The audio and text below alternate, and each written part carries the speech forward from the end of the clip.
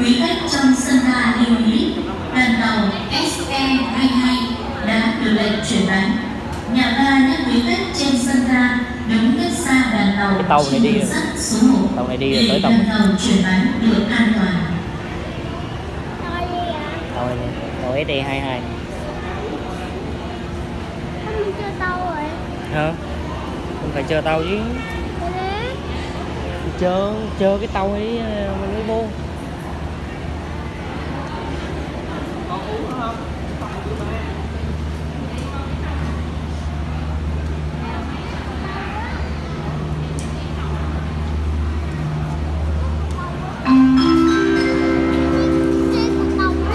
Sao Kính thưa quý khách, đoàn tàu SE21 đã đưa quý khách về đưa ga Nha Trang. tàu nó phải báo Quý khách xuống ga Nha Trang, xin mời đi về phía giữa đoàn tàu để ra ga.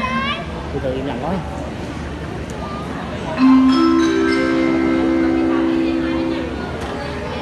Kính thưa quý khách, đoàn tàu SE21 đã đưa quý khách về tới ga Nha Trang.